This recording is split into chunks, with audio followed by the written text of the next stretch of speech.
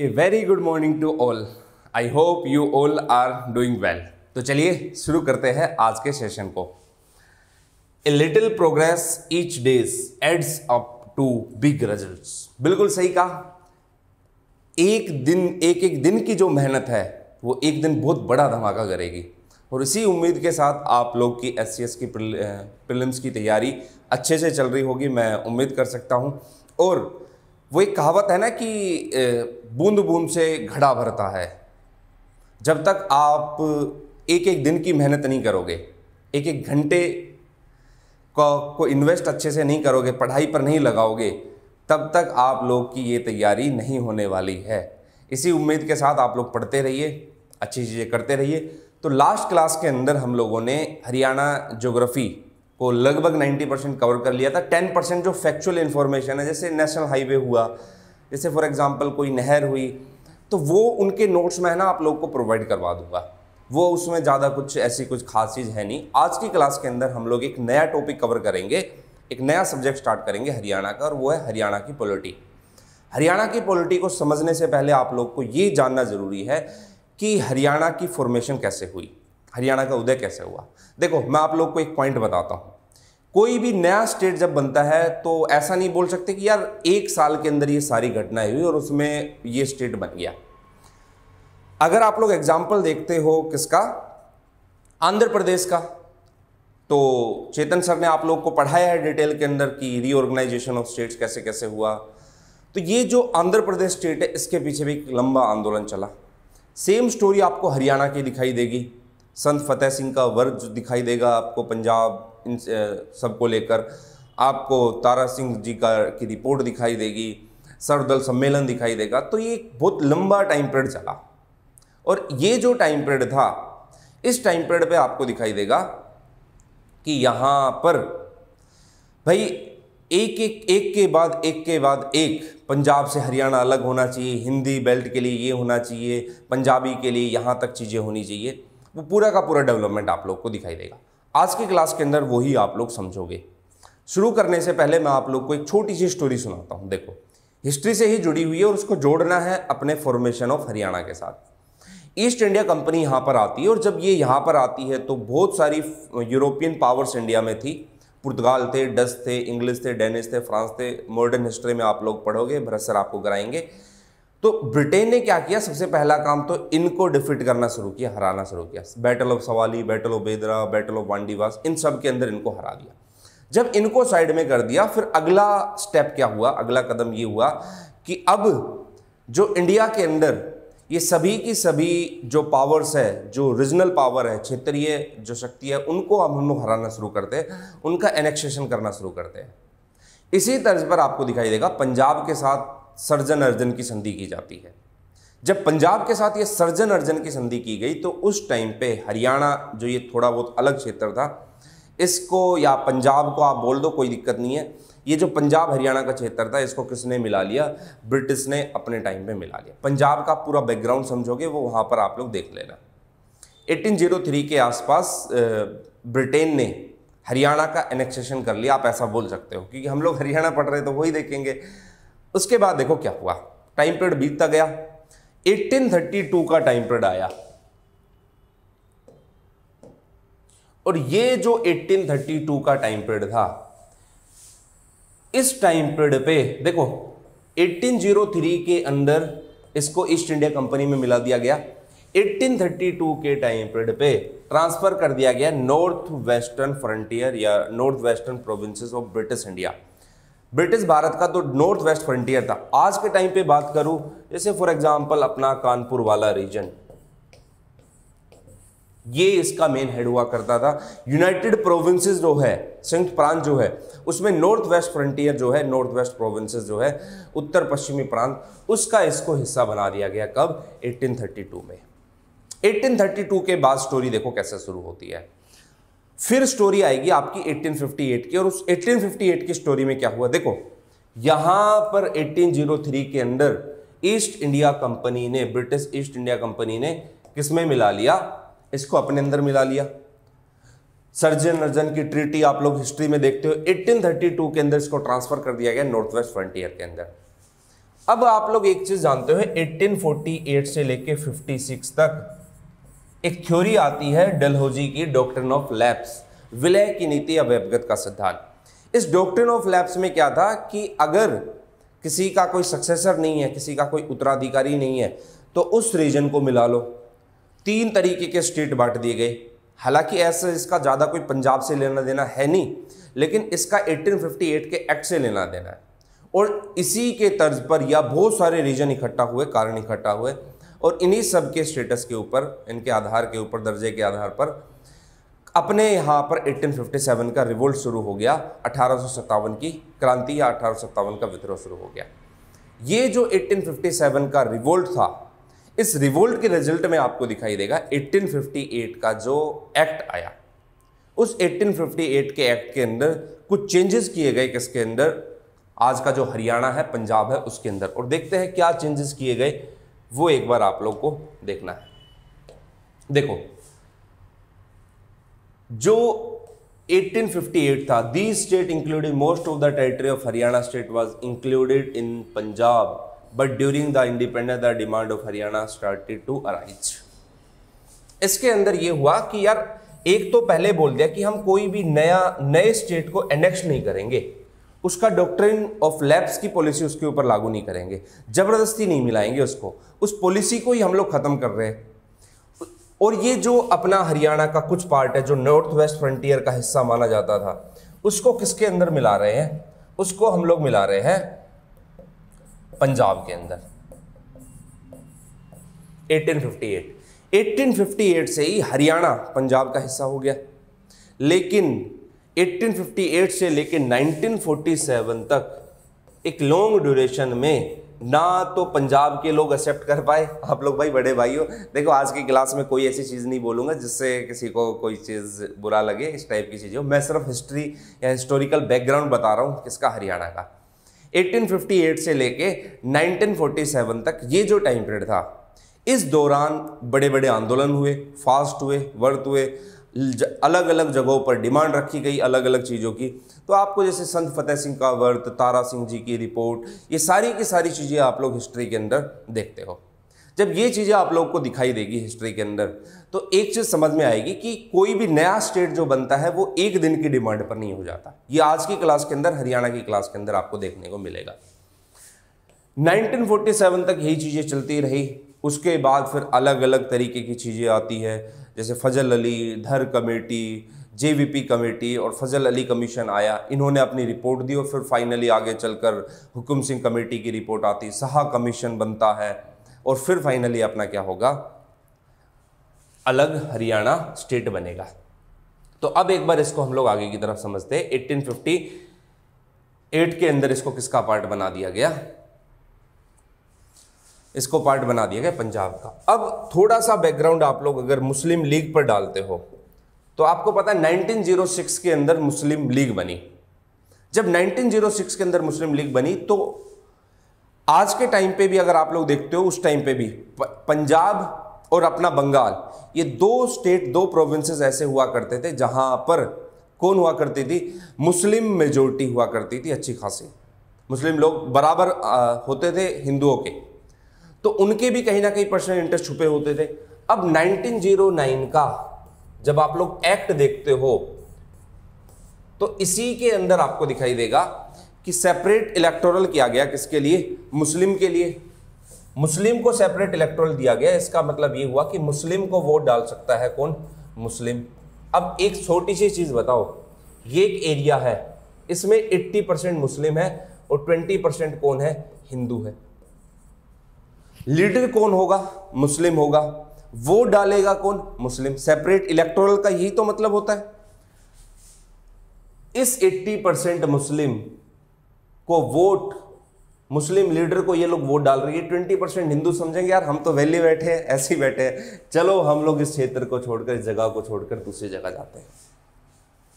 अब आप कहोगे, सर, इसका क्या लेना देना मुस्लिम लीग से? अब इस पॉइंट से आपको समझ में आएगा कि क्या इसका इस पॉइंट से लेना देना है। देखना भैया।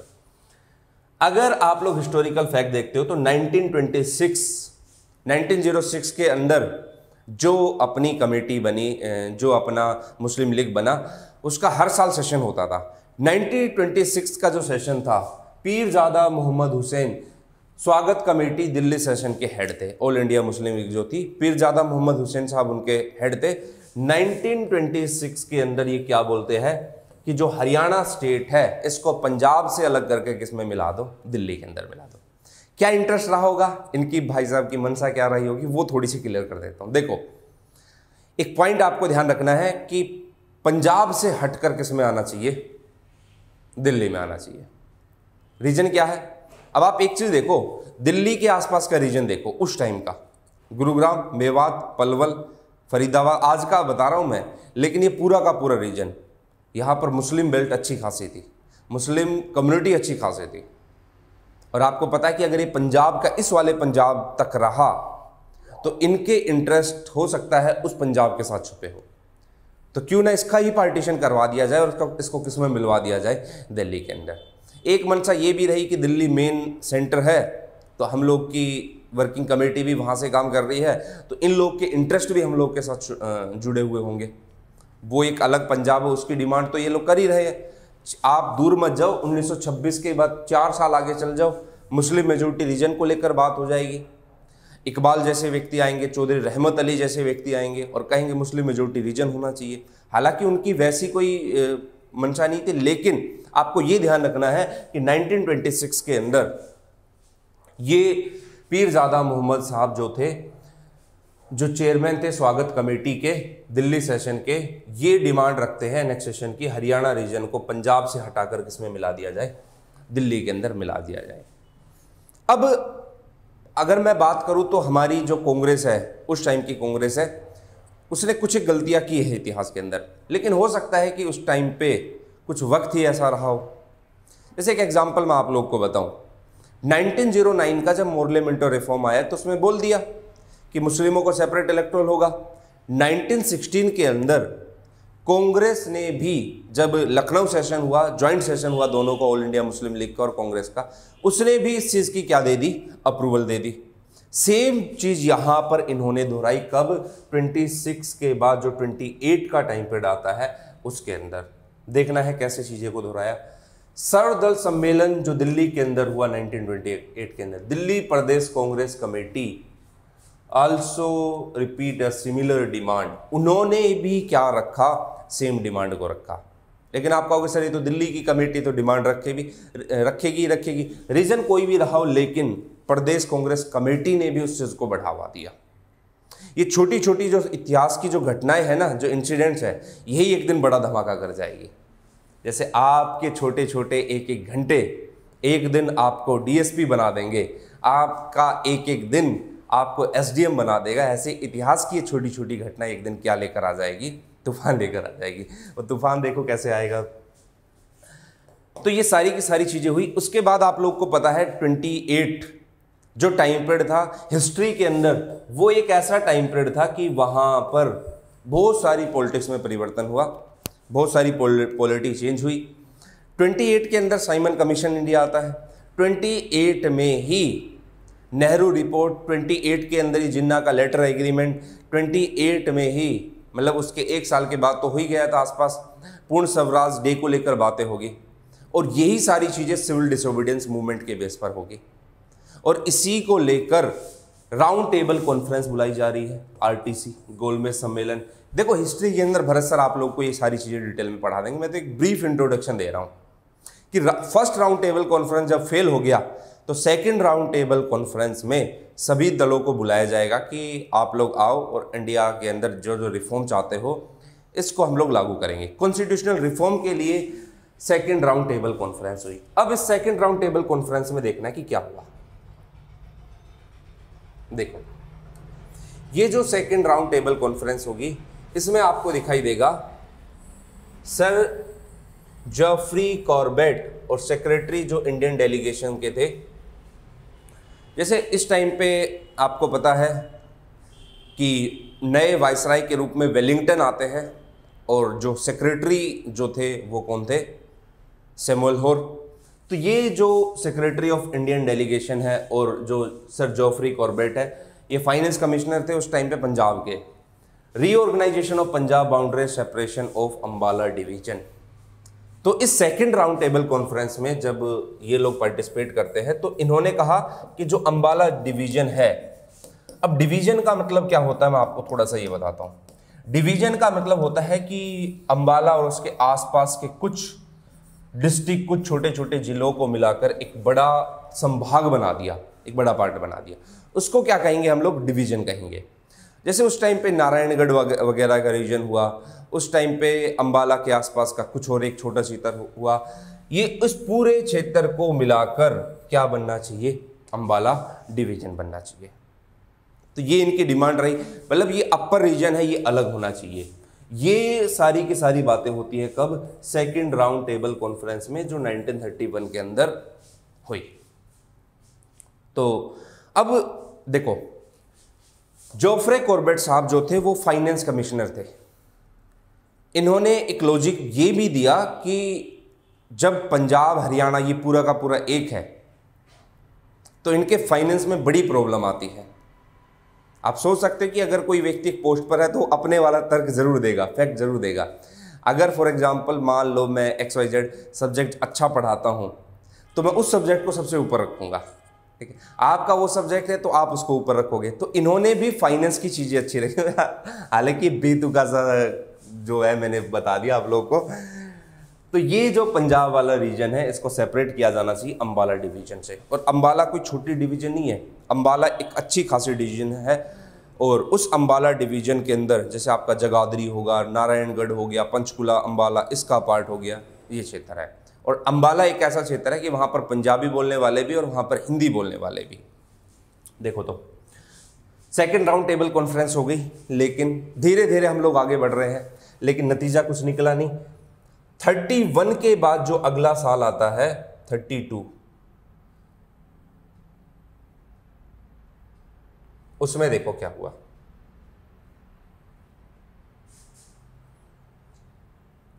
देखते हैं एक बार। On September 9 1932 famous nationalist leader of Haryana and Delhi Deen Bandhu Gupta gave a statement to separate Haryana consider 1932 का जो टाइम पीरियड था दीन बंधु गुप्ता ये अपनी स्टेटमेंट देते हैं और स्टेटमेंट देने के बाद ये क्या करते हैं? Separate Haryana considering it as different from Punjab लो भाई 1932 के अंदर ये बातें पूरी कर दी किसने? इन्होंने पूरी बातें कर दी। 1932 के अंदर क्या होना चाहिए? एक सेपरेट स्टेट होना चाहिए किससे? पंजाब से।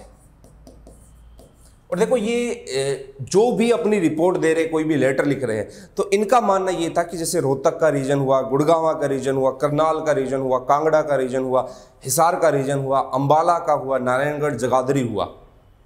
इनकी बात ये लोग करते थे, ना कि आज का जो पूरा हरियाणा है। आपको पता है जब हरियाणा बना था तो उस टाइम पे हमारे पास सात ही डिस्ट्रिक्ट थे। आज बाईस डिस्ट्रिक्ट है। तो ये जो मेन मेन रीजन है, हिंदी बेल्ट है, उसको लेकर ये लोग बातें करते थे डिमांड रखते थे, पंजाब से अलग किया जाए। सेम चीज़ें है ना, पंजाब के अंदर चल रही थी, वो चाहते थे कि इसको, इनको अलग करो। ना हम लोग उनको अपना रहे, ना वो लोग हमारे, हम लोग को अपना रहे तो ये प्रॉब्लम यहाँ पर दिखाई देगी। तो 1932 के अंदर सेपरेट करने की बात की और किसने? दीनबंधु गुप्ता ने। आपको ज़्यादा फैक्चुअल इन्फॉर्मेशन पे नहीं जाना है, क्योंकि वो सारी चीज़ें मैं नोट्स में प्रोवाइड करवा दूँगा, सिर्फ़ स्टोरी को सुनते हुए चलना 1932 के बाद कौन सा टाइम पीरियड आता है, वो एक बार समझना है, देखो। 1932 के कुछ टाइम तक, कुछ सालों तक चीज़ें क्या रही? बिल्कुल शांत रही। 1932 के बाद जो 1946 आया 1946 के अंदर जो पट्टाभी सीता रमैया जी थे उन्होंने अपनी एक स्पीच दी ऑल इंडिया लिंग्विस्टिक कॉन्फ्रेंस देखो, ये जो 46 का टाइम पीरियड था, इसको एक बार समझना है। 1946 में अभी जो अपना देश है, वो आज़ादी के बिल्कुल नज़दीक है और इस टाइम पे बहुत सारे स्टेट हरियाणा सॉरी इंडिया के जो बहुत सारे स्टेट है, क्योंकि इस टाइम पे चौदह स्टेट थे। ये जो स्टेट है देखो, जैसे ब्रिटेन की गवर्नमेंट ने इनको चार पार्ट में बांटा, पार्ट ए के स्टेट, पार्ट बी के, पार्ट सी के और पार्ट डी के। कुछ के अंदर वो आते थे जहाँ पर गवर्नर जनरल वायसराय का रूल है। कुछ को चीफ कमिश्नर रीजन रखा, कुछ को एक इंडिपेंडेंट स्टेट के रूप में ऐसे देखा गया। तो ये पार्ट ए, बी, सी और डी के स्टेट है। इसको बाइफरकेट किया किसने? ब्रिटेन की, ब्रिटिश गवर्नमेंट ने। 1946 से ही लगातार हर स्टेट और खासकर वो स्टेट जिन्होंने एक लंबा आंदोलन इसके पीछे चलाया, वो चाह रहा है कि हमारी जो बोली है, हमारी जो भाषा है लिंग्विस्टिक जो है, उसके बेस पर एक स्टेट बनाया जाए। तो यहाँ पर आप लोग को दिखाई देगा कि एक लिंग्विस्ट कॉन्फ्रेंस होती है कहाँ पर? दिल्ली में, और कौन? पट्टाभी सीतारमैया। ये वही पट्टाभी सीतारमैया है जो अभी आगे चलकर जेवीपी कमेटी जो बनेगी, उसमें एज ए मेंबर नज़र आएँगे। ये वही पट्टाभी सीतारमैया है जो सुभाष चंद्र बोस जी थे जी से 1939 का जो त्रिपुरी सेशन हुआ था, उसमें हारे थे। और गांधी ने फिर स्टेटमेंट दी थी कि ये पट्टाभी की हार नहीं, ये मेरी हार है। तो इन्होंने एक लिंग्विस्टिक कॉन्फ्रेंस की कहाँ पर? दिल्ली के अंदर। और इस डिमांड को क्या किया? जस्टिफाइज किया। धीरे धीरे चीज़ें बढ़ती जा रही है। अभी तो प्रॉब्लम हुई नहीं है शुरू। अभी तो अब टाइम पीरियड आएगा जब प्रॉब्लम शुरू होगी। अब यहाँ पर 46 के बाद आपको एक चीज़ दिखाई देगी। दूसरे स्टेट, जैसे एक एग्जांपल मैं बात करूँ, आंध्र प्रदेश को लेकर आंदोलन तेज हो जाएँगे। और उस आंध्र प्रदेश की लहर कहाँ तक नज़र आ जाएगी? हरियाणा तक। हरियाणा के बड़े बड़े लीडर के दिमाग में भी ये चलता आएगा कि अब हमें भी अपना एक क्या बनाना चाहिए? एक नया स्टेट बनाना चाहिए। तो लो भाई, उनके दिमाग में भी वो चीज़ें आ जाएगी। तो आंध्र प्रदेश के अंदर आंदोलन चल रहा है और आंध्र प्रदेश के इस आंदोलन को देखते हुए इवन जो गुजरात वाला रीजन जो है, वहाँ पर मराठी बोलने वाले जो लोग हैं, वो भी छोटे मोटे आंदोलन कर रहे हैं। दक्षिण हरियाणा के अंदर तो चल ही रहा है, गुजरात के अंदर भी चल रहा है। हरियाणा के अंदर भी ये ऐसी चीज़ें दिखाई देगी कि हिंदी भाषी बोलने वाले और पंजाबी बोलने वाले क्या होने चाहिए? अलग होने चाहिए। मतलब हम किसी भी आधार पर मैच नहीं करते क्योंकि हम लोग पंजाबी नहीं बोल सकते, वो लोग हिंदी नहीं बोल सकते, ठीक है? तो जैसे एक एग्जांपल मैं आप लोगों को देता हूँ, हरियाणा वालों को हम लोग को पंजाबी में एक ही चीज़ आती है कितने जा रहा सी? और पंजाबी वालों को हरियाणवी में एक ही चीज़ आती, आ रही है, के कर रहे हो आप? एक मज़ाक है भाई ये चीज़। तो ये बड़ी प्रॉब्लम थी लैंग्वेज की तो ये भी तर्क दिया गया कि भाई बोलने वाले हैं। कल्चर अलग है उनका, हमारा कल्चर अलग है।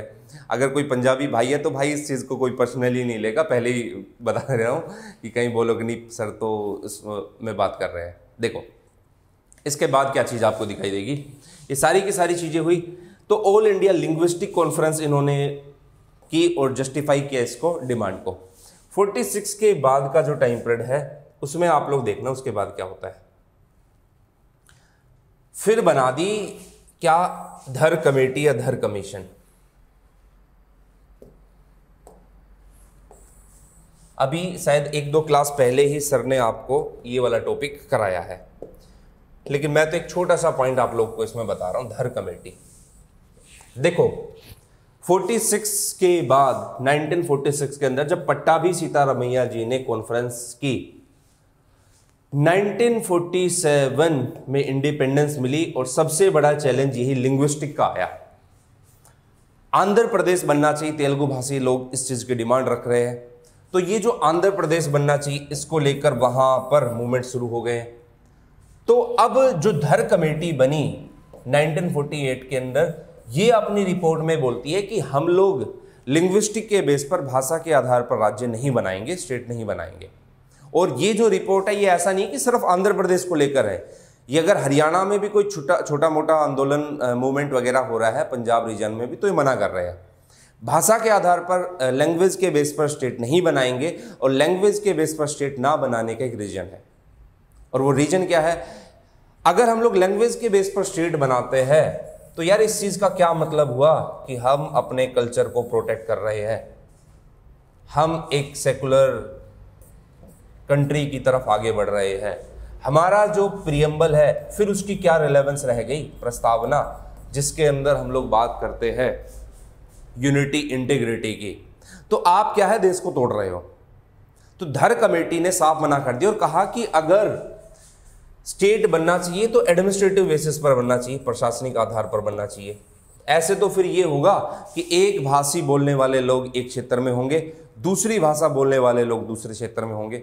वो हमसे कटा हुआ समझेंगे, हम उनसे कटा हुआ समझेंगे। जैसे आज के टाइम पे आप लोग देखो, जब आप लोग देखते हो तो नॉर्थ इंडिया वाले, साउथ इंडिया वाले,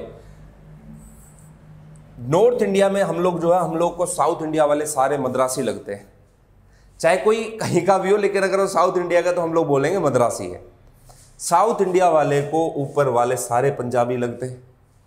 जैसे अगर मैं बात करूँ तो आपको कोई आंध्र का व्यक्ति मिल गया, आंध्रा का व्यक्ति मिल गया, आपको कोई तमिलनाडु का व्यक्ति मिल गया तो वो कितना ही समझा ले कि भाई मद्रास अलग है और आंध्रा का ये वाला रीजन अलग। अच्छा अच्छा मद्रासी हो मद्रासी हो, ठीक है, उससे कम चल जाएगा। इन लोगों को क्या लगता है? इन लोगों को लगता है कि अच्छा बोल दिया, भाई, हम तो यूपी से है। अच्छा अच्छा पंजाबी हो, ठीक है। तो ये प्रॉब्लम यहाँ पर आपको दिखाई दे सकती है।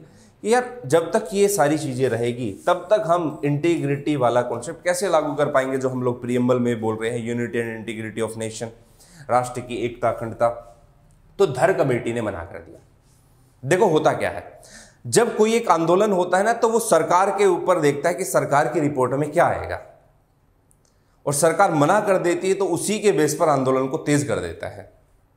तो धर कमेटी की रिपोर्ट आई, धर कमेटी ने मना कर दिया एडमिनिस्ट्रेटिव बेसिस के ऊपर स्टेट नहीं बनेगा। नहीं बनेगा तो वहाँ पर धीरे धीरे और आंदोलन शुरू हो गया। फिर उसके बाद इस धर कमेटी की रिपोर्ट को इन्वेस्टिगेट करने के लिए, जाँच करने के लिए एक और कमेटी आती है और उस कमेटी का नाम क्या था? जेवीपी कमेटी जवाहरलाल नेहरू वल्लभ भाई पटेल पट्टाभी सीतारामैया। देखो अब पट्टा भी सीता सीतारमैया आपको पता है 1946 के अंदर ये कॉन्फ्रेंस कर चुके थे। तो जवाहरलाल नेहरू, वल्लभ भाई पटेल, पट्टा पट्टाभी सीतारमैया इन्होंने क्या किया? इन तीन मेंबर को लेकर एक कमेटी बनी और इसकी रिपोर्ट अप्रैल 1949 के समथिंग उन्नीस सौ उनचास के आसपास आती है। कमेटी तो दिसंबर महीने में ही बना दी गई थी जो जेवीपी कमेटी ने भी जो लिंग्विस्टिक स्टेट है, उसकी डिमांड को कुछ टाइम के लिए ठुकरा दिया। कि कुछ टाइम के लिए हम लोग भाषा के आधार पर राज्य नहीं बनाएँगे। तो इन्होंने मना कर दिया। अब जब इन्होंने मना किया 1946 से लेके टाइम पीरियड आप लोग देखो कौन सा 1949 धर कमेटी आ गई, जेवीपी कमेटी आ गई, पट्टा भी सीतारमैया जी, ये चीज़ें कर रहे हैं। यहाँ पर एक पॉइंट आपको ध्यान रखना है और वो क्या याद रखना है? 1948 के अंदर।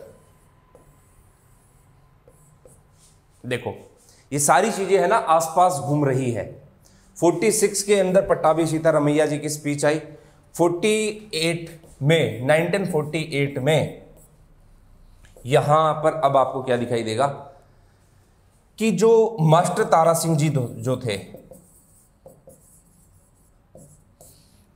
ये अपना एक लेटर लिखते हैं और इस लेटर के अंदर, अजीत लेटर था इनका, इस लेटर के अंदर इन्होंने पंजाबी सूबे से अलग हटके किसकी डिमांड रख दी? सिख सूबे की। लो भाई। लोहा गर्म था, मार दिया। तो मास्टर तारा सिंह जी ने पंजाबी सूबे से अलग हटके किस सूबे की डिमांड रखी सिख। अब इनका मेन मकसद ये हो गया कि नहीं, पंजाबी नहीं, जो सिख कम्युनिटी है या सिख सूबा है, यहाँ पर होना चाहिए। और उसका मतलब यही था कि आज का जो पंजाब का वो वाला पार्ट है मतलब आप जो हरियाणा से बाउंड्री टच करते हैं, इसको, इस वाले पंजाब को हटा दो। बाकी जो पंजाब है, उसकी डिमांड पंजाबी सूबे, सिख की डिमांड इन्होंने 1948 में क्या किया? रख दी। तो जब इन्होंने डिमांड रखी तो उसी टाइम पे ये धर कमेटी, जेवीपी कमेटी, इनकी रिपोर्ट आई और ये लोग मनाई कर रहे हैं कि लिंग्विस्टिक बेस पर क्या नहीं होना चाहिए स्टेट नहीं होना चाहिए। अब एक के बाद एक चीज़ देखो आप लोग। 1946 से शुरू हुए हम लोग। 1948 में धर कमेटी बना दी, वो मना कर रहा है। 1948 में पंजाबी सूबे से क्या होना चाहिए? सिख सूबा मास्टर तारा सिंह जी इस चीज़ की डिमांड रख रहे हैं। 1949 में जेवीपी कमेटी आ रही है, वो मना कर रही है। तो ये 48 और 49 का जो टाइम पीरियड था, ऐसा टाइम पीरियड था जहाँ पर हरियाणा भाषी मतलब हिंदी भाषी हरियाणा के लोग को और पंजाबी को ये लगने लग गया कि अब हमारी डिमांड पूरी नहीं होगी, इसलिए आंदोलन को थोड़ा तेज किया जाए। तो जब देखो 1948 से ही मैं आप लोग को बता देता हूँ, सिक्स सूबे की डिमांड होती है। फिर हम लोग एक फॉर्मूला लेकर आते हैं और उस फॉर्मूले का नाम क्या था? सच्चर फॉर्मूला। तो हम लोग इन सारी चीज़ को नहीं अपना रहे हैं तो नहीं अपना रहे हैं तो उसके कंटेक्ट के बाद कौन सा फॉर्मूला आएगा? सच्चर फॉर्मूला। पंजाब के जो कि सीएम भी थे, कौन? भीमसेन सच्चर। तो ये फॉर्मूला दिया गया 1949 के अंदर, सच्चर फॉर्मूला। ऑन अक्टूबर 1949 इस सच्चर फॉर्मूले को देखना है क्या होता है। देखो। Punjab province was divided into two region जो पंजाब प्रांत है सच्चर फॉर्मूला जो दिया गया, इसको दो हिस्सों में बांटेंगे। एक तो होगा पंजाबी रीजन और दूसरा कौन सा होगा? हिंदी रीजन होगा। पंजाबी रीजन को आपको समझना है और हिंदी रीजन को समझना है सच्चर फॉर्मूला देखो, ये जो फॉर्मूला आया, इसको कहा जाता है कि इसका बैकग्राउंड 46 से लेके 48 तक ही तैयार हो चुका था। पंजाबी रीजन और हिंदी रीजन अब थोड़ा सा मैं आप लोगों को बताऊँ। तो देखो,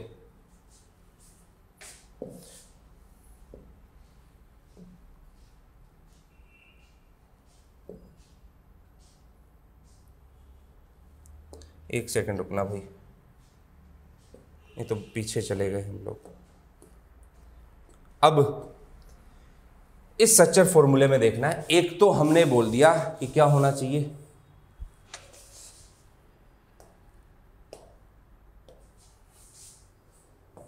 पंजाबी रीजन। और एक कौन सा होना चाहिए? अपना हिंदी रीजन। तो ये जो पंजाबी और हिंदी रीजन है, इसके अंदर क्या देखना है? इस हिंदी रीजन में आपका कौन कौन सा क्षेत्र आना चाहिए? जैसे आपका रोहतक रीजन हुआ, आपका गुरगाम रीजन हुआ, आपका करनाल कांगड़ा हिसार रीजन हुआ, करनाल कांगड़ा हिसार रीजन उसके बाद अंबाला, नारायणगढ़ और जगादी जो यमुनानगर में पड़ता है, वो होना चाहिए। तो रोहतक, गुड़गांव, करनाल, कांगड़ा, हिसार, अंबाला, नारायणगढ़, उस टाइम पे और जगाधरी ये होना चाहिए। इस जो हिंदी है, इसकी जो भाषा होगी, ये जो हरियाणवी क्षेत्र इसकी भाषा हिंदी होगी। पंजाब की गुरमुखी लिपि होगी। और यहाँ पर इस हिंदी के अंदर ये कर दिया गया कि इसकी जो दूसरी सेकंड ऑफिशियल लैंग्वेज होगी, वो कौन सी होगी? सेकंड लैंग्वेज इसकी पंजाबी होगी। अब यहाँ पर सारी चीज़ें ठीक थी, लेकिन कुछ एक प्रॉब्लम यहाँ पर थी और ये भी किया गया कि प्री यूनिवर्सिटी तक हिंदी में पढ़ाई कराई जाएगी। कुछ सिलेबस के अंदर चेंजेस होगा। सरकारी स्कूल में शिक्षा का माध्यम स्कूल के संचालक जो है स्कूल के जो डायरेक्टर जो है, वो डिसाइड करेंगे। लेकिन सच्चर फॉर्मूले के अंदर प्रॉब्लम ये आई कि यहाँ पर उन्होंने मना कर दिया कि भाई हमें ये खासी चीज़ें पसंद नहीं आ रही है। और ये जो है पंजाब के अंदर कंपलसरी कोई सब्जेक्ट दूसरा क्यों पढ़े हम लोग? इस चीज़ को लेकर भी बात उठी। तो बहुत बड़ा दबाव है और ये सच्चा फॉर्मूला काफ़ी बदनाम भी हुआ। तो इसके बाद एक चीज़ आप लोग और देखना कि यहाँ पर अगर आप लोग देखते हो, जैसे हिंदी और पंजाबी रीजन। हिंदी जो है, हिसार, रोहतक, गुरुग्राम, करनाल अम्बाला महेंद्रगढ़, कोहिस्तान, संगरूर, शिमला, कांगड़ा, ये वाला। पंजाबी बेल्ट जो है, उसमें होशियारपुर, जालंधर, लुधियाना, फिरोजपुर, अमृतसर, गुरदासपुर, अंबाला। अंबाला का कुछ रीजन इसके अंदर आएगा। जैसे अंबाला में जो नारायणगढ़ और जगाधरी वो यहाँ पर आ जाएगा। बाकी रीजन इसके अंदर ये है। तो ये दो क्षेत्र के अंदर बांट दिया गया, लेकिन जनता ने वहाँ की, जनता ने खुद मना कर दिया कि हम ये सब्जेक्ट इसको हम लोग कंपलसरी नहीं पढ़ेंगे और उस चीज़ की डिमांड को लेकर बड़ी ही आपत्ति उन्होंने जताई। तो यहाँ तक ये चीज़ें हुई। सच्चर फॉर्मूले को कुछ खास अचीवमेंट नहीं मिली। जब सच्चर फॉर्मूले को खास अचीवमेंट नहीं मिली तो धर कमेटी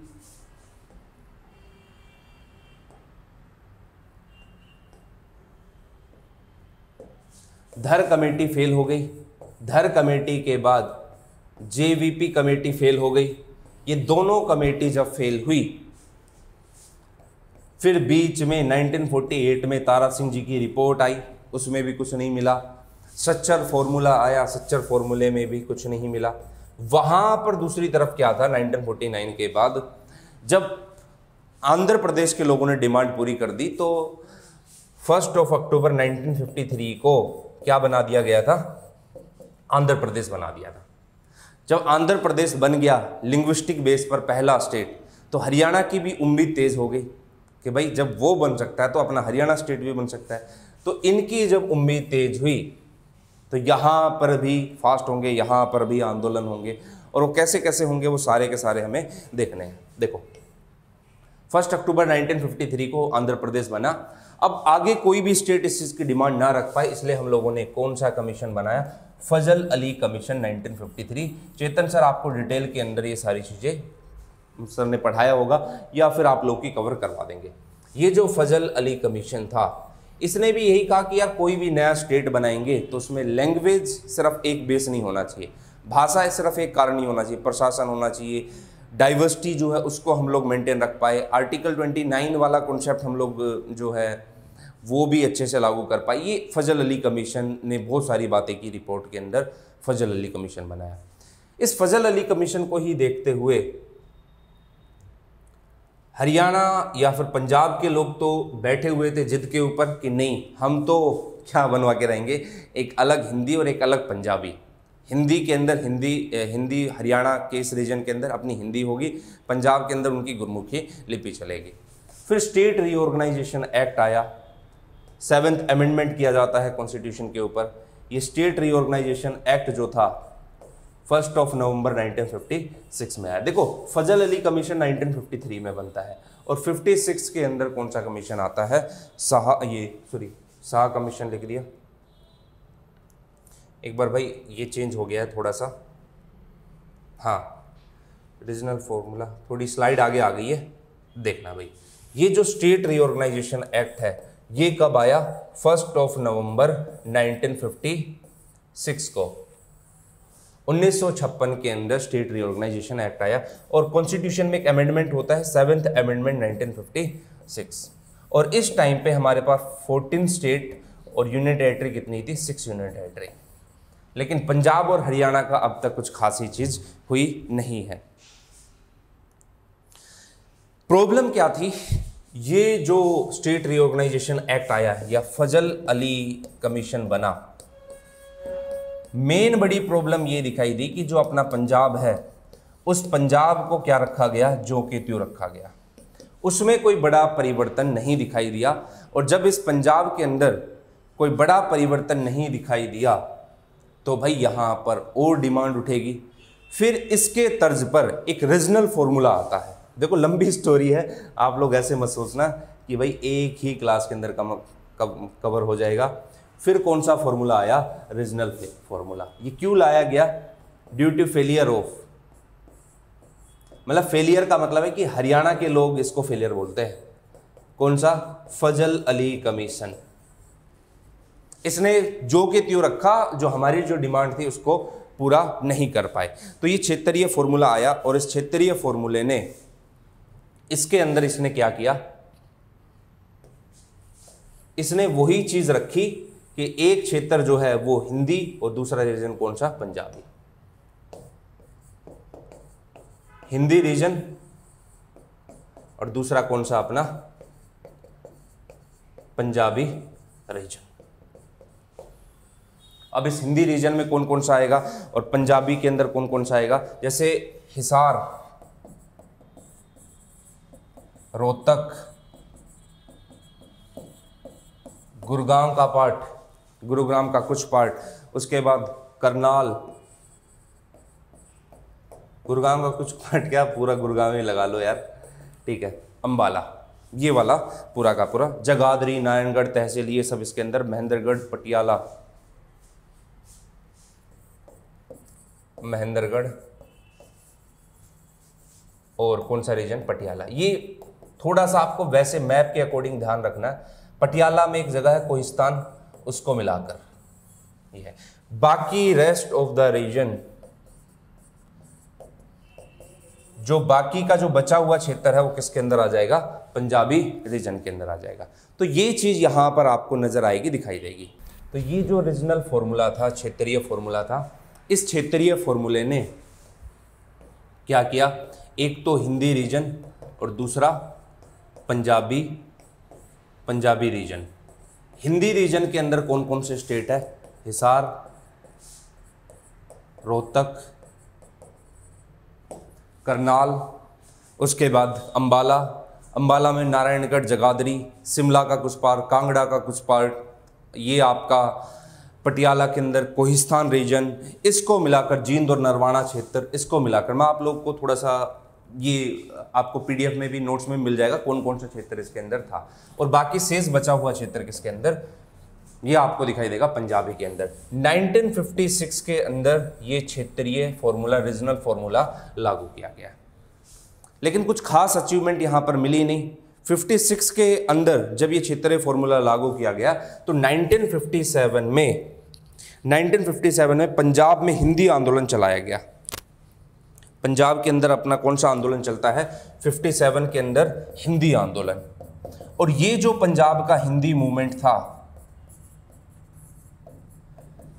पंजाब से हरियाणा अलग या हरियाणा, पंजाब अलग, इसको एक बड़े लेवल पर लेकर जाता है।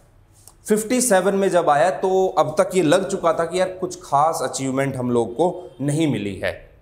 जब ये खास अचीवमेंट नहीं मिली तो तारा सिंह जी थे वो निकल कर आते और 1960 में 1960 के अंदर वो फिर पंजाब या उनकी जो सिख सूबे की डिमांड थी, फिर उसको रखते हैं। और तारा सिंह जी एक अनशन भी करते हैं, लेकिन 60 के टाइम पर भी कोई खास अचीवमेंट मिली नहीं। तो अब देखो, टाइम पीरियड बीतता जा रहा है 1957 60 पंजाब सूबे की मांग यहाँ पर आंदोलन हो रहे हैं। एक अलग नेतृत्व के रूप में एक अलग लीडर निकल कर आ रहा है। इन सारी घटनाओं के बीच फिर दिखाई देगा आपको 1965 में। 60 से लेकर 65 तक कुछ खास उपलब्धियाँ यहाँ पर नहीं हुई। 65 में आपको दिखाई देगा, संत फतेह सिंह का व्रत होता है। शिरोमणि अकाली दल के वाइस प्रेसिडेंट भी रह चुके थे संत फतेह सिंह। संत फतेह सिंह का अनशन होता है। संत फतेह सिंह ने दो बार अनशन किया। पहली बार ये जो अनशन करते तो 1965 में उस टाइम पे पाकिस्तान के साथ हमारा, हमारी वोर शुरू हो गई थी। तो उस चीज़ को देखते हुए फिर आंदोलन को रोकना पड़ा, अनशन को रोकना पड़ा। फिर ये दोबारा आते हैं और जब दोबारा आते हैं तो 21 दिन की भूख हड़ताल पर बैठते हैं और बोलते हैं कि भाई, जब तक बन नहीं जाता, तब तक हड़ताल पर बैठा रहूँगा। अब इतना दबाव सरकार के ऊपर बन चुका था कि जवाहरलाल नेहरू जी, पहले एक बार इनसे बात करने भी गए थे अनशन को लेकर, लेकिन उसका फिर फाइनली कोई नतीजा नहीं निकला। लेकिन अब टाइम पीरियड जो आया, वो कौन सा टाइम पीरियड आया? तेईस सितंबर 1965 का। देखो, ये सारी बातें आप लोग को नोट्स में मिल जाएगी। ये जो 1965 का टाइम पीरियड था, इस टाइम पीरियड पे क्या हुआ? सरकार ने देखा कि 1960 से लेके 65 तक। ये दो साल ऐसे हैं कि इसमें एक बड़े लीडर के रूप में मास्टर तारा सिंह जी दिखाई दे रहे हैं और दूसरे बड़े लीडर के रूप में आपको कौन नज़र आ रहे हैं? दूसरे बड़े लीडर के रूप में फतेह सिंह जी। संत फतेह सिंह जी। ये दोनों के दोनों बड़े लीडर के रूप में दिखाई दे रहे हैं और इनका लगातार अनशन चल रहा है और फाइनली तेईस सितंबर 1965 को दबाव में आकर इन चीज़ों को देखते हुए क्या कर दिया गया कि भाई अब क्या होगा? अब तो सिर्फ़ एक ही चीज़ होगी कि अब जो है हम लोग एक पार्लियामेंट्री कमेटी बनाएँगे, संसदीय समिति बनाएँगे और इस मामले की जाँच करेंगे। आप अनशन तोड़ दो और आपके डिमांड को हम पूरा करते हैं। अब ये पार्लियामेंट्री कमेटी बननी थी और ये पार्लियामेंट्री कमेटी जो बनी, वो किसकी अध्यक्षता में बनी?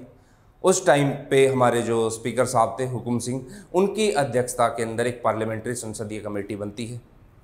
ये संसदीय कमेटी अपनी रिपोर्ट देती है। ये इस पूरे मामले की जाँच करती है और जाँच करने के बाद उन्होंने अपनी रिपोर्ट दी। मतलब अब तक ये तय हो चुका था कि हाँ हरियाणा स्टेट को हमें बनाना है। तो पार्लियामेंट्री कमेटी की रिपोर्ट आती है। उस रिपोर्ट के बाद फिर ये हुआ, हमने कमीशन बनाया, जिस कमीशन का नाम क्या था? सहा कमीशन कौन सा कमीशन सहा कमीशन एक सेकंड अपना सहा कमीशन ये जो सहा कमीशन था, जो हमारे जज साहब है, justice J S Shah J C उनकी अध्यक्षता में ये बना सहा कमीशन और इस सहा कमीशन के तीन मेंबर थे। एक तो खुद जस्टिस जे साहब थे, एक हमारे दत्त साहब थे और दूसरे फिलिप साहब थे। तो शाह कमीशन तीन मेंबर कमेटी बनी और इसने अपनी रिपोर्ट दी और रिपोर्ट के अंदर फिर finally Punjab reorganisation act pass किया गया और बाउंड्री कमीशन पास किया गया और फिर फाइनली इसके रूप में गठन हो गया। एक नए हरियाणा स्टेट के रूप में गठन हो गया। तो आपको ये पूरा बैकग्राउंड समझना है कि हरियाणा का जो गठन हुआ वो किस कमीशन की रिपोर्ट के बेसिस पर हुआ? शाह कमीशन। या फ़र्स्ट ऑफ़ नवंबर 1966 को जो हरियाणा स्टेट बना तो हरियाणा स्टेट उस टाइम पे जो उसके सात डिस्ट्रिक्ट थे, वो किसकी रिपोर्ट के ऊपर बेचते शाह कमीशन की रिपोर्ट के ऊपर बेचते अब आपको वो सब नहीं पढ़ना कि भाई क्या कहते हैं कि किस दिन व्रत किया, व्रत किस दिन तोड़ा, पानी किस दिन पिलाया? नहीं, यार वो है ना ये जो अपने कॉन्स्टेबल वगैरह की तैयारी करते, वहाँ तक ठीक है। यहाँ पर आपको एक कंप्लीट हिस्टोरिकल बैकग्राउंड समझना कि कैसे कैसे रिपोर्ट है। हाँ ये पूछ सकता है कि शाह कमीशन में कौन मेंबर नहीं था। एक तो जस्टिस जे साहब थे, एक दत्त साहब थे, एक फिलिप साहब थे। तो ये तीन मेंबर थे। सारी चीज़ें आप लोग को नोट्स के अंदर मिल जानी है। कौन कौन से क्षेत्र है इसके अंदर, वो आपको ध्यान रखने हैं। तो सात डिस्ट्रिक्ट आपको किसकी दिखाई देगी? शाह कमीशन की दिखाई देगी। इस सात डिस्ट्रिक्ट में कौन कौन सी है और उसके बाद कौन कौन सी डिस्ट्रिक्ट बनती है, वो सारी हम लोग देखेंगे। अभी के टाइम पे कितने डिस्ट्रिक्ट है? बाईस है। तो एक बार देखते हैं कि जब बना तो इसकी रिपोर्ट के अनुसार हमारे पास कितने डिस्ट्रिक्ट थे और आज कितने कितने हैं? एक बार आप लोग ये देखना। देखो। फ़र्स्ट ऑफ़ नवंबर 1966 को सात डिस्ट्रिक्ट बने। अंबाला, रोहतक, महेंद्रगढ़, गुरुग्राम, गुड़गांव, करनाल, हिसार और जिंद अगर आप लोग देखते हो तो जनरली आपको ये वही सात डिस्ट्रिक्ट दिखाई देंगे, जो, जिसकी डिमांड लगातार ही हिंदी भाषी को लेकर होती आ रही है। हाँ इसके अंदर शिमला, कांगड़ा, जो रीजनल फॉर्मूला वाला जो पॉइंट था, उस रीजनल फॉर्मूले को लागू, वाली चीज़ों को लागू नहीं किया। और दत्त साहब ने तो ये तक भी कहा, खरड़ और चंडीगढ़ भी इसके अंदर नहीं शामिल होगा। खैर, वो एक अलग चीज़ है। तो सात डिस्ट्रिक्ट अपनी बन गई। कौन कौन सी? अंबाला, रोहतक, महेंद्रगढ़ गुरुगाम गुड़गांव, फिर करनाल, हिसार और अपनी कौन सी? जींद। एक बार देख लेते हैं। मैप के अंदर आप लोग देखना।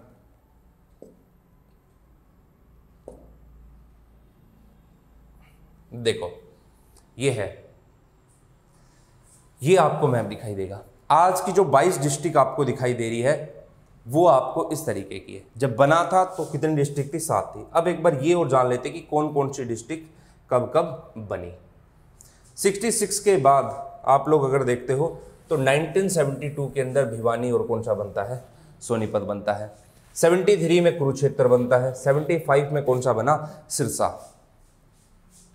79 के अंदर फिर कौन सा बना? फरीदाबाद। 89 में कैथल, रेवाड़ी, पानीपत, यमुनानगर।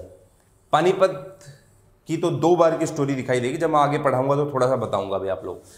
तो ये चार डिस्ट्रिक्ट नए बनकर आते हैं। फिर आपका पंचकुला बना नाइनटीन में। 97 में आपका फतेहाबाद और झज्जर बना। अब फाइव के अंदर मेवात बना। एट में पलवल बना। और जो लेटेस्ट बना है भिवानी को अलग करके। भिवानी से अलग होकर कौन सा? चरखी दादरी, वो कब बना? टू ट्वेंटी सिक्स के अंदर। तो ये अपना कौन सा स्टेट हो गया? बाईस स्टेट कई बार पता क्या है? कई तो कई बार तो ऐसा होता है कि ये पूछ लेता है कि लेटेस्ट डिस्ट्रिक्ट कौन सा बना है? 2016 के अंदर कौन सा बना है? छत्तीस, चरखी दादरी। तो ये कुछ लिस्ट है जो आप लोग के सामने है। 66 के बाद वो डिस्ट्रिक्ट जो यहाँ पर बने हैं। अब देखो। अभी के टाइम पे हमारे पास इन 22 स्टेट को, कितने स्टेट को? इन 22 स्टेट को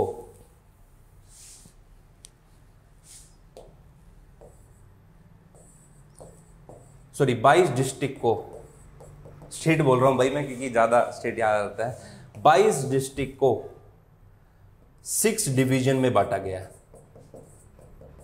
और वो सिक्स डिवीज़न कौन कौन सी है और उसमें कौन कौन सी डिस्ट्रिक्ट आती है, वो एक बार उसकी लिस्ट आप लोग को देखनी है, क्योंकि वो इंपॉर्टेंट बनता है एग्ज़ाम में पूछता है। अब आप उसको ऐसे ध्यान रख सकते हो कि अगर आपको मैप पता है हरियाणा का तो मैप के बेसिस पर आप उसको ध्यान में रख सकते हो।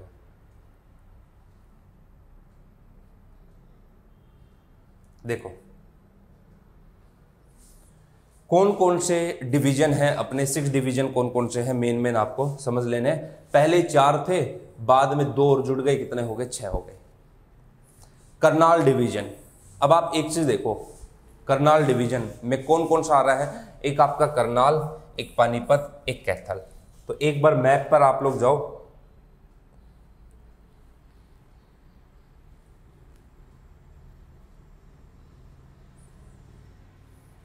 ये हो गई अपनी करनाल डिवीज़न। कौन सी डिवीज़न? करनाल डिवीज़न, पहली डिवीज़न। करनाल, कैथल और पानीपत, इन तीन को मिलाकर ये अपनी कौन सी हो गई? पहली डिवीज़न हो गई। ठीक है? इस डिवीज़न के अंदर अपने कितने डिस्ट्रिक्ट शामिल है? अपने तीन डिस्ट्रिक्ट शामिल है। अगला देखो। ये है ना, इतने इजली से याद हो जाएँगे आपको कि आप नियर बाई के देख लो। कि फरीदाबाद डिवीज़न है तो फरीदाबाद में कौन कौन सा है? फरीदाबाद, पलवल और नूह। अंबाला डिवीज़न है तो अपर पार्ट देख लो, अंबाला का एक साइड पंचकुला है, एक साइड यमुनानगर और नीचे की तरफ़ कौन सा है? कुरुक्षेत्र है। देखो, करनाल हो गया। करनाल के नज़दीक में ऊपर की तरफ़ जो कुरुक्षेत्र है, कुरुक्षेत्र तो किसमें आ जाएगा? अंबाला डिवीज़न में। एक तरफ़ आपको कैथल दिखाई देगा एक तरफ़ आपको कौन सा दिखाई देगा? पानीपत दिखाई देगा। पानीपत से जो नीचे सोनीपत आता है, वो रोहतक डिवीज़न में आता है। तो ये करनाल में कैथल और पानीपत। अंबाला देखते हो तो अंबाला बीच में है। अंबाला के एक तरफ़ आपको क्या नज़र आएगा? यमुनानगर और एक तरफ़ पंचकुला नज़र आएगा। और नीचे की तरफ़ कुरुक्षेत्र। आप ऐसे मैप में भी देख सकते हो, ये है अंबाला। अंबाला के इस साइड पंचकुला। इस साइड यमुनानगर और इस साइड क्या है? कुरुक्षेत्र। ये हो गई अपनी कौन सी division? Ambala division. Rohtak division, Sonipat, Rohtak, Jhajjar, Bhiwani, Dadri. देखो, रोहतक आपको दिखाई देगा। भिवानी से अलग होकर क्या बना? रोहतक। रोहतक तो है ही। झज्जर, भिवानी, दादरी और सोनीपत। अब आप एक चीज़ देखो, सोनीपत है। एक साइड आपको नीचे की तरफ़, दिल्ली दिल्ली से इस साइड आपको झज्जर गुरुग्राम के नज़दीक में। गुरुग्राम इसके अंदर नहीं आएगा, ध्यान रखना। और लगाएगा भिवानी, दादरी और रोहतक। ये रोहतक डिवीज़न के अंदर आएँगे। चार ये हो गए। दो डिवीज़न अपने और बसते हैं और वो दो डिवीज़न और देखने कौन से आपको। एक तो अपना कौन सा? हिसार डिवीज़न। हिसार डिवीज़न के अंदर नियर बाई के डिस्ट्रिक्ट देख लो, याद रखने के लिए। हिसार, फतेहाबाद, सिरसा और जींद। हिसार, फतेहाबाद, सिरसा और जींद और गुरुग्राम लास्ट में डिवीज़न, गुरुग्राम, रेवाड़ी और महेंद्रगढ़। गुरुग्राम रेवाड़ी और महेंद्रगढ़। तो ये पूरा का पूरा आपका हो गया। एक बार मैप के अकॉर्डिंग और देख लेते हैं इस चीज़ को।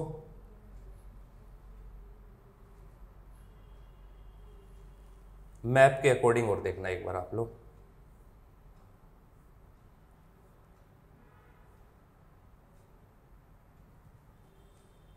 देखो, अगर आप लोग मैप के अकॉर्डिंग इस चीज़ को देखते हो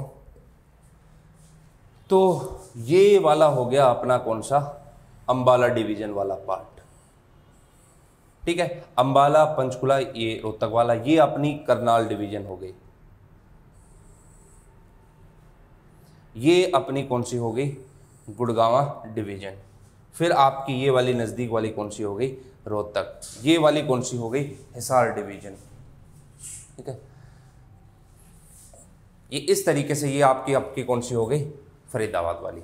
तो इस तरीके से आप लोग, अगर मैप आपको पता है कि कौन सी डिस्ट्रिक्ट किसके अंदर आती है तो आप इजिली आप उसको बता सकते हो कि कौन सी डिस्ट्रिक्ट किसके नज़दीक में बाउंड्री टच हो रही है। तो आप इस मैप को देखकर इजिली बता सकते हो कि कौन सी किस डिवीज़न के अंतर्गत ये अंदर आती है। देखते एक बार लास्ट में चलते हैं।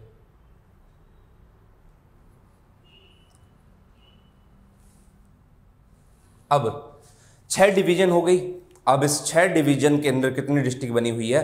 अपनी 22 डिस्ट्रिक्ट 22 डिस्ट्रिक्ट बनी हुई है। जब बना था तो कितनी डिस्ट्रिक्ट थी? साठ डिस्ट्रिक्ट थी। तो ये कुछ डेवलपमेंट हुआ, जिसके, जिसमें हमें दिखाई दिया कि हरियाणा का डेवलपमेंट या हरियाणा की फॉर्मेशन एक नए स्टेट के रूप में कैसे कैसे होती। है अब आपको मैंने पूरी स्टोरी बताई है कब? जब हमारी सरजी अर्जन की ट्रिटी हुई 1803 से लेके अब तक की स्टोरी और आपको इसी वे में ध्यान रखना है। एक बार मैं पूरी क्लास का रिकॉल रिवीजन करवा देता हूँ। 1803 के अंदर ब्रिटिश ईस्ट इंडिया कंपनी का पार्ट बन गया ये।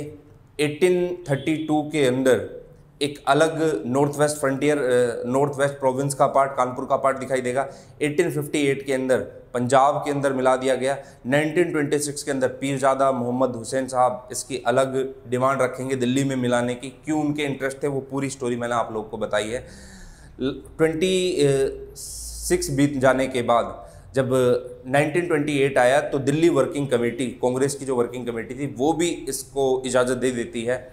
31 जो आया तो कॉर्बेट साहब जो थे फाइनेंस कमीशन और सेक्रेटरी साहब जो थे, वो भी इस चीज़ को एक डिमांड के तौर पर ऐसे एजे रखेंगे।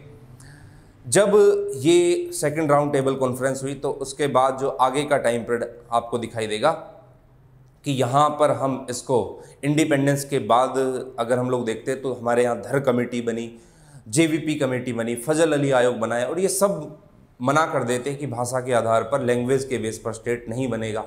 तो जब इन्होंने मना कर दिया तो उसी बीच हम लोग एक फार्मूला तैयार करते हैं जिसका नाम था सच्चर फार्मूला।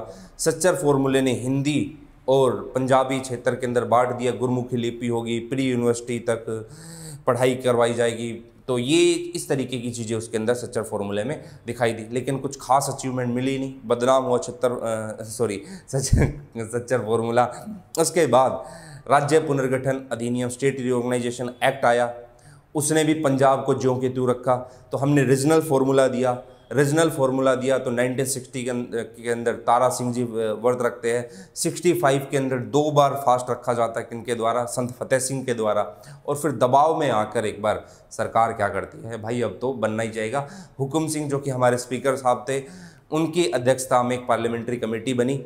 इन्होंने अपनी रिपोर्ट दी, सहा कमीशन बना, तीन मेंबर बने, पंजाब पुनर्गठन एक्ट पास हुआ और उसके अंदर फिर फाइनली अपना हरियाणा की सात डिस्ट्रिक्ट निकल कर आती है और आज के टाइम पे कितने डिस्ट्रिक्ट है? बाईस डिस्ट्रिक्ट ये पूरी स्टोरी थी किसकी? हरियाणा की। आई होप आपको पूरी अच्छे समझ में आ गई होगी। अगले नेक्स्ट क्लास जो होगी अपनी, इसी से आगे फिर हम लोग कंटिन्यू करेंगे, जो हरियाणा की पॉलिटी के अदर पोर्शन है, वो हम लोग कवर करेंगे। Thank you so much